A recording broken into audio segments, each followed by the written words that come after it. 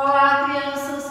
Vamos para mais uma aulinha de português. Hoje, na nossa aula de português, nós vamos trabalhar no reforço, tá? Peguem lá o livro de reforço de vocês, peguem também o lápis e a borracha. Vamos fazer a atividade juntinhos hoje. A primeira página a tia vai fazer junto com vocês e depois eu vou deixar o dever de casa, tá? Ainda sobre o conteúdo lá sobre substantivos próprios e comuns. Tudo bem, meus amores? Vamos lá? Então vamos lá. Abra lá na página 62 para ti, ó. 62, 62. Abriram? Então vamos começar. Gramática, substantivos próprios e comuns. Número 1. Um, observe as figuras abaixo e complete o quadro com substantivos próprios e comuns, tá? De cada uma. Lembrando, próprio nome de pessoas, nome de cidades, né? o nome de uma escola, por exemplo, o nome de uma instituição. Pode ser também a marca de algum alimento, que tem que ser escrito com letra maiúscula, tudo bem? E substantivo comum, né? Nomes comuns, como a tia Nova já deu vários exemplos para vocês. O pincel que a tia está aqui na mão, o livro, o lápis, é, por exemplo, o biscoito, é, um alimento né, que não seja a marca do produto, ok? Então vamos começar. Você tem aí no número 1 um, vários produtos. Você primeiro você tem um livro com o título Pinóquio. Você tem um pacote de açúcar, né, com a marca aí Cristal, uma latinha de refrigerante também com a marca escrito Coca-Cola.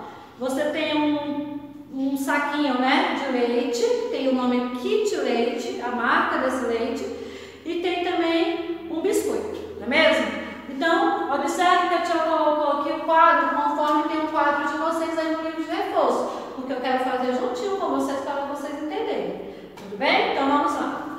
Desse lado de cá você tem substantivo próprio, aí tem escrito até embaixo assim que a tia escreveu de colocar, ó, a marca, tá? A marca.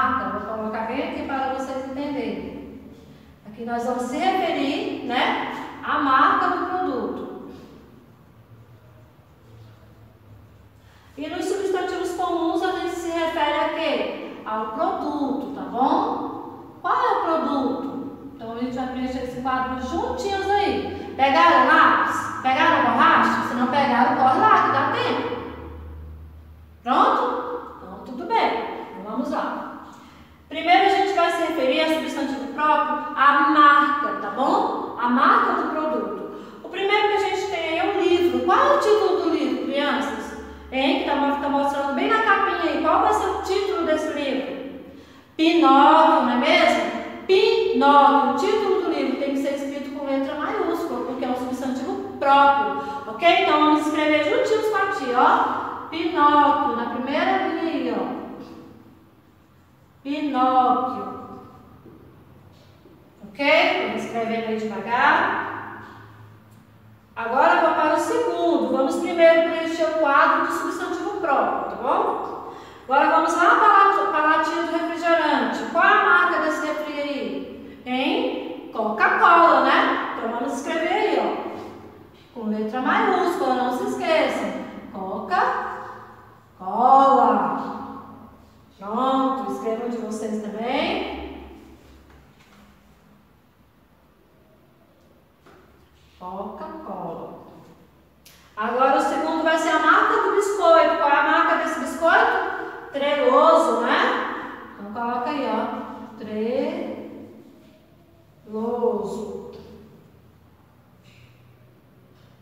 Próximo se refere ao leite, tá bom? Que leite, a marca desse leite aí, ó. Que leite, a marca desse leite, coloca aí de vocês. E o último vai se referir à marca do açúcar, tá bom? Açúcar cristal, coloca aí a marca. Cristal. Pronto, aqui nós preenchemos todos os substantivos próprios. Ok? Se não der tempo, criança, depois você pode estar voltando o vídeo, tá? Para trabalhar aí, responder essa página junto com a tia.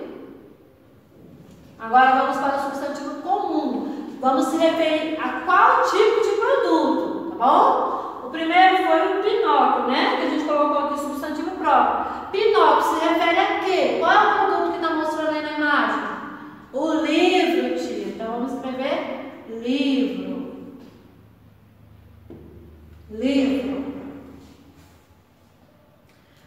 O segundo item que a gente colocou, Coca-Cola. Coca-Cola se refere a quê, crianças? Ao refrigerante. Então vamos escrever refrigerante.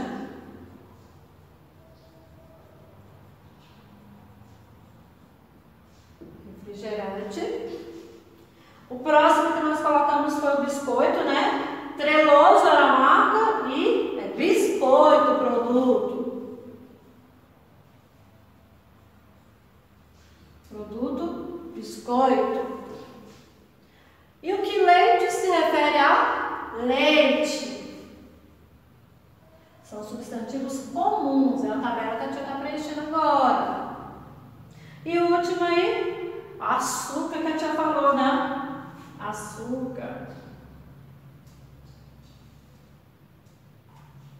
açúcar. Aí aqui a gente terminou o quadrinho dos substantivos comuns. Você se referiu ao substantivo próprio e substantivo, substantivo comum. Trabalhamos a marca e o produto, tá? Virei porque a tia fez junto com vocês, porque vocês poderiam se confundir nessa atividade. Então eu achei melhor fazer junto com vocês. Lembrando, se não deu tempo de responder, crianças, voltem o vídeo, tá? Voltem o vídeo juntinho para conferirem a resposta de vocês. Ok, meus amores? Agora vamos para o número 2. Descubra os substantivos no caça-palavras e pinte de vermelhos os próprios, tá bom? E de azul os comuns. Vamos lá. Você tem aí um quadrinho, tá? No caça-palavras vocês vão descobrir. A tia Laura colocou aqui, ó. De vermelho, você vai é, pintar para a tia Nalva todos os substantivos próprios. Quais são? A tia já deixou o nome para ficar melhor para, para vocês fazerem, tá bom? Depois você pode voltar o vídeo para conferir. Vitor, Recife e Luana, ok? Luana, repete duas vezes aí. Você pode estar pintando as duas palavras aí. Luana de vermelho, que são substantivos próprios. Tá? Procurem no caça-palavras que vocês encontram. Vocês são bem espertos. E de azul, você vai pintar para a tia os substantivos comuns. Nesse caça-palavra aí, você tem comum pobres, irmã, padeiro e sobrinho. Tá bom? Somente esses. Aí esses aqui vocês vão pintar de azul. Se não der tempo, depois você volte o vídeo e confira aqui com as indicações da tia. Tudo bem? Tenho certeza que vieram conta, né? Então vamos lá. A última aí dessa página, questão 3. Descubra o segredo e continue. Você tem um quadro enorme, tá? Deixa eu estar mostrando aqui para vocês. Um quadro enorme que a tia Nova tentou fazer aqui no quadro para, vocês ir acompanhando junto com a tia. Vamos lá. Você tem substantivo próprio e você tem substantivos comuns. Vamos de acordo com a tia, a gente vai. A tia já colocou as respostas para vocês fazendo de vocês aí juntinho com a tia. Essa não é dever de casa, é junto com a tia na sala. Tudo bem, crianças? Então vamos lá. Fabiano, é o primeiro que você tem aí. Fabiano é o nome de menino. Esse era o exemplo que o livro deu, né? Por quê? Fabiano é o nome de menino. Vamos agora para o próximo. Brasil. Brasil, criança, é o nome de quê, hein? O nome de país, que é o país em que a gente mora, tá bom? Então você completa aí com seu, no seu livro país. Tudo bem? Deu para escrever? Deu. Vamos para o próximo. Recife é o nome de cidade. Escreva aí no de vocês, Ó, aqui a tia Nova deixou só uma sugestão, mas você pode estar colocando o nome do seu animalzinho aí, tá? Do seu cachorro, se você tiver. Eu coloquei o nome do meu, né? Claro, né? Bob é o nome de cachorro. Lembrando, você pode colocar o nome do seu animalzinho ou o seu nome favorito. Tudo bem? Ana é o nome de menina.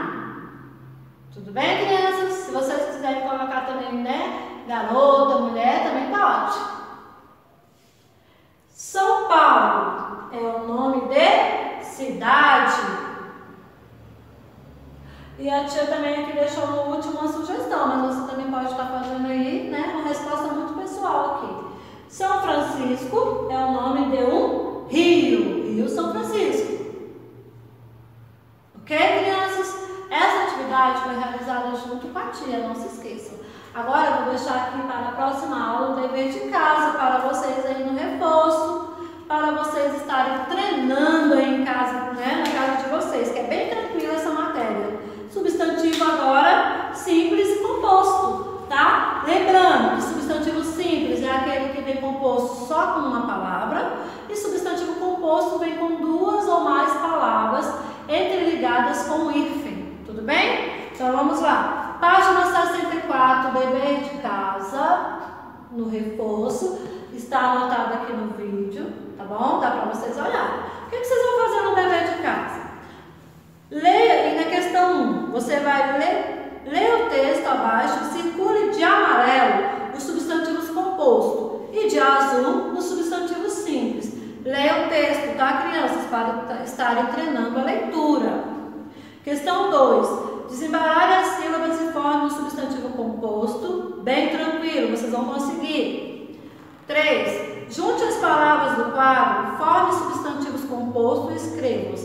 Quer dizer, você tem um quadro aí que tem vários substantivos compostos, tá? Aí depois vocês vão ter que escrever todos eles aqui nesse quadro abaixo. Tudo bem? Dever de casa tranquilo, né? Só uma página hoje que a tia passou, hein? Que bom, né, tia? Tá bom? Até a próxima aula, tá? Com muitas saudades que a tia tá aqui de vocês, onde eu vou estar fazendo a correção dessa atividade. Beijinhos, tchau!